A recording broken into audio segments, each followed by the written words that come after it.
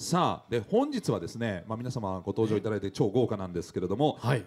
なんとここにいるゲストに加えシークレットスペシャルゲストもえ？お呼びしているんです。え？栗田さん。ちょっと待って。ええ。コナン君？え それ前前のコラボですね。ああ、ええ。なんかそういう。ということは？え？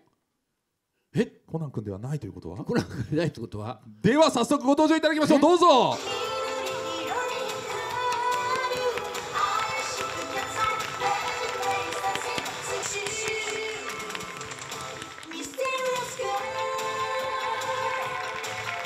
ありがとうございますでは改めてご紹介しましょう本日のプレミアイベントのために駆けつけてくださいましたキャッツアイ森さん中の皆様でございます大きな拍手よろしくお願いします。こんばんは。すみません、えっ、とこんばんは、ゲストの皆さん一個一つずれていただけると栗田さんも助かります。失礼します。ではキャッツアイの皆さん自己紹介をお願いいたします。はい。キャッツアイ瞳村上智子です。キャッツアイルイ大島みゆきです。キャッツアイアイ黒沢和子です。ありがとうございます。すいません本当によろしくお願いします。なんと某 CM 以来12年ぶりおよそはい。キャッツアイ復活ということでございますけれども、大島さん久々にキャッツアイになってどうですか？そうですねあのいつもの普段着よりこっちの方が着やすいです。確かに。とっても着やすいです。もうこれで帰りたいぐらいです。ヒルズ。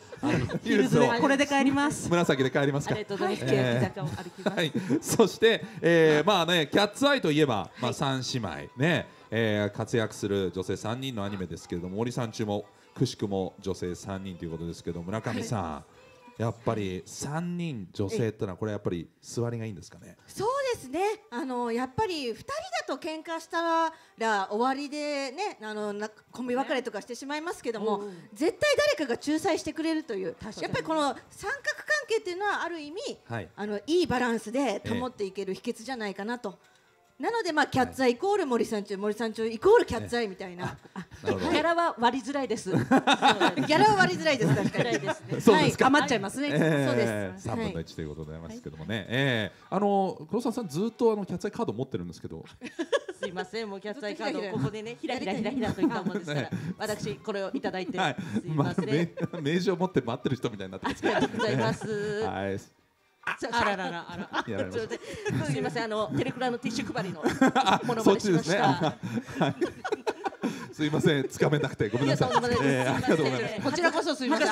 昔の渋谷です。ありがとうございます。はい。えーありましたねありがとうございます。切っていただいていましたねありがとうございます。さすがキャッツアイ世代でございますね、このねすいません時代でございますから。はい。